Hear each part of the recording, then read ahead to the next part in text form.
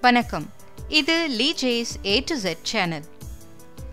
இதயத்திற்கு செல்லும் இரத்த நாளங்களில் கொழுப்பு படிமங்கள் படியும் போதும் கழுத்தில் உள்ள கரோட்டிட் தமனிகளில் கொழுப்பு படிமங்கள் படியும் போதும் அந்த இடங்களில் இரத்த நாளங்கள் சுருங்கி இரத்த ஓட்டம் குறையுது. இதன் காரணமா மாரடைப்பும் பக்கவாதமும் உண்டாகுது. இதை பற்றி விளக்கமா இந்த பதிவில் பார்க்கலாம். இந்த பதிவை பார்க்கறதுக்கு முன்னாடி மருத்துவம் சார்ந்த விழிப்புணர்வு பதிவுகளை தமிழில் தெரிஞ்சுக்க இந்த சேனலுக்கு சப்ஸ்கிரைப் பண்ணலைன்னா மறக்காமல் சப்ஸ்கிரைப் பண்ணிட்டு கூடவே இருக்கும் பெல் ஐக்கானையும் கிளிக் பண்ணினீங்கன்னா என்னோட பதிவுகளை உடனுக்குடன் பார்த்துக்கலாம். நம்ம உடம்பு ஆரோக்கியமாக செயல்பட கொழுப்பு அவசியம் தேவை. நம்ம உடம்புக்கு வைட்டமின் டி தயாரிக்கவும் ஹார்மோன்களை உருவாக்குறதுக்கும் பித்த நீரை உருவாக்குறதுக்கும் கொழுப்பு தேவைப்படுது. நம்ம உடம்புக்கு தேவையான கொழுப்புகளை நம்ம கல்லீரலே உற்பத்தி செய்யுது. கல்லீரலிலிருந்து உற்பத்தியாகிற இந்த கொழுப்புகளால இரத்த ஓட்டத்தில் செல்ல முடியாது. அதனால கல்லீரல் கொழுப்பை சுற்றி சில புரதங்களை மூடுது. இதுதான் லிப்போ புரோட்டீன் இந்த லிப்போ புரோட்டீன் தான் உடல் உறுப்புகளுக்கு ஆற்றலை வழங்க நம்ம இரத்த ஓட்டத்தில் கலந்து உடல் உறுப்புகளுக்கு செல்லுது.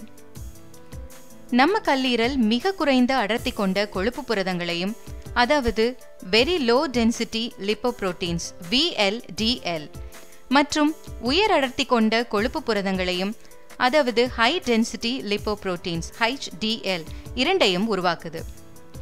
இந்த கொழுப்பு புரதங்கள் கொழுப்பு மற்றும் ட்ரைகிளிசரைட்ஸால் நிரம்பியிருக்கு. உயர் அடர்த்தி கொண்ட கொழுப்பு புரதங்களில் அதிக புரதமும் குறைந்த கொழுப்பும் ட்ரைகிளிசரைட்ஸும் இருக்குது ஹஷ்டியலின் பணி. இரத்தத்தில் பயணித்து செல்களில் படிந்துள்ள கொழுப்பையும் இரத்த நாளங்களில் படிந்துள்ள கொழுப்பு படிமங்களையும் எடுத்து கல்லீரலுக்கு கொடுக்குது. கல்லீரல் அந்த கொழுப்பை உடல் இயக்க தேவைக்கு பயன்படுத்திக்குது இப்படி அதிகப்படியான கொழுப்பை நீக்குவதால் இந்த ஹெச்டிஎல் நல்ல கொலஸ்ட்ரால்னு சொல்லப்படுது. ஆனால் விஎல்டிஎல்னு சொல்லப்படக்கூடிய மிக குறைந்த அடர்த்தி கொண்ட கொழுப்பு புரதங்களில் அதிக அளவிலான கொழுப்பும் ட்ரைக்ளிசரைட்ஸும் இருக்கு. இந்த விஎல்டிஎல் இரத்த ஓட்டத்தில் பயணித்து உடல் இயக்கத்திற்கு தேவையான ஆற்றலை வழங்க ட்ரைக்ளிசரைட்ஸை செல்களுக்கு அளிக்குது. இப்படி ட்ரைக்ளிசரைட்ஸை செல்களுக்கு கொடுத்த பிறகு இந்த விஎல்டிஎல் எல்டிஎலா மாறுது. அதாவது குறைந்த அடர்த்தி கொண்ட கொழுப்பு புரதமாக மாறுது. எல்டிஎலும் இரத்தத்தில் பயணித்து உடல் ஆற்றலுக்கு தேவையான கொழுப்புகளை வழங்கிய பின் தேவைக்கதிகமான எல்டிஎல் இரத்த ஓட்டத்தில் பயணித்து இரத்த நாளங்களின் சுவர்களில் படிமங்களா சேருது. நாளடைவில் அதிக படிமங்கள் சேர்ந்து இரத்த நாளத்தையே சுருக்கமடைய செய்யும். இதனால் இரத்த ஓட்டம் அங்கு தடைப்படுது இதனால்தான் இந்த எல்டிஎல் மற்றும் விஎல்டிஎல் கெட்ட கொழுப்புன்னு சொல்லப்படுது. இந்த கொழுப்பு படிமங்கள் இதயத்திற்கு செல்லும் இரத்த நாளங்களில் படியும் போது அடைப்பு ஏற்பட்டு மாரடைப்பும் கழுத்தில் உள்ள கரோட்டிட் தமனிகளில் இந்த கொழுப்பு படிமங்கள் படியும் போது அடைப்பு ஏற்பட்டு மூளைக்கு செல்லும் இரத்த ஓட்டம் குறைந்து பக்கவாதமும் ஏற்படுது. இந்த கொழுப்பின் அளவை ஆரம்ப நிலையிலேயே கண்டறிந்து நோய்களிலிருந்து பாதுகாக்க உதவும் பரிசோதனை தான் லிபிட் ப்ரொஃபைல் பரிசோதனை. அதாவது லிப்போப்ரோட்டீன் ப்ரொஃபைல் பரிசோதனை. இந்த பரிசோதனை காலை நேரத்தில் வெறும் வயிற்றில் நம் இரத்த மாதிரி கொண்டு பரிசோதிக்கப்படுது. இதன் மூலம் நம் உடலில் உள்ள மொத்த கொலஸ்ட்ராலின் அளவு எல்டிஎல் ஹெச்டிஎல் மற்றும் ட்ரைகிளிசரைட்ஸின் அளவை தெரிஞ்சுக்கலாம். ஹெச்டிஎல் கொலஸ்ட்ராலின் அளவு ஆண்களுக்கு நூறு மில்லி ரத்தத்தில் நாற்பது மில்லிகிராம்க்கு அதிகமாகவும் பெண்களுக்கு ஐம்பத்தி ஐந்து மில்லிகிராம்க்கு அதிகமாகவும் இருக்கணும்.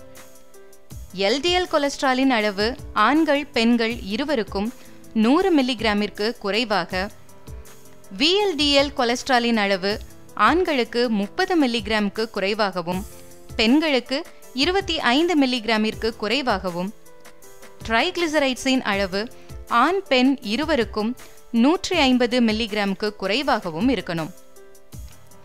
அதிக செலவில்லாத இந்த லிப்பிட் ப்ரொஃபைல் பரிசோதனையில் பரம்பரையில் மாரடைப்பு உள்ள குடும்பத்தில் பிறந்தவர்கள் உடல் பருமன் சர்க்கரை நோய் தைராய்டு பிரச்சனை உள்ளவர்கள் உயர் இரத்த அழுத்தம் உள்ளவர்கள் ஆறு மாதத்திற்கு ஒரு முறையும் முப்பது வயதிற்கு மேல் உள்ளவர்கள் வருடத்திற்கு ஒரு முறையும் அவசியம் செய்துக்கணும். இரத்தத்தில் கொலஸ்ட்ரால் இருக்கும் பட்சத்தில் அதன் அளவை குறைக்க மருத்துவர்கள் நபரின் உடல் நோய்களை பொறுத்து மாத்திரைகளை பரிந்துரைக்கிறாங்க. இது நபருக்கு நபர் வேறுபடுது.